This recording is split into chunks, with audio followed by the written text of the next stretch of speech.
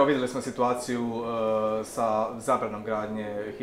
hidroelektrane. Jeste li vi to očekivali? Je li to zapravo na neki način, nakon što je ministarstvo vaše e, reklo jednu stvar, onda od druge institucije smo čuli nešto sasvim drugo? Dakle, najprije treba otkloniti to da je naše ministarstvo reklo jednu stvar, a DIR drugu. Jer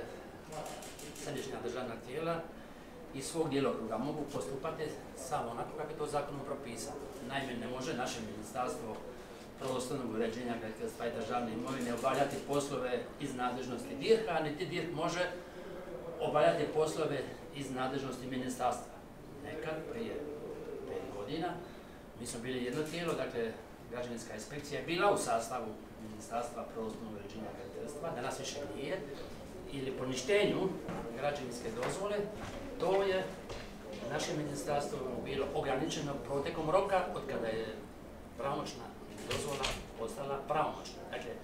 u tom trenutku ministarstvo nema drugog alata za, za,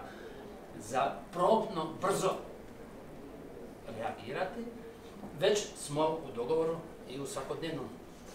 suradnji i razgovorima sa Ministarstvom zaštite okoliša i zelene tranzicije i sa državnim inspektoratom provodili aktivnosti kako bi se omogućili i stekli uvjeti da državni inspektorat donese rješenje o obustavljanju radova, o zaustavljanju radova, a kako bi naše ministarstvo u drugom postupku kojim se oglašava građevinska dozvolja ništavom, mogli dobiti na vremenu da, da proučimo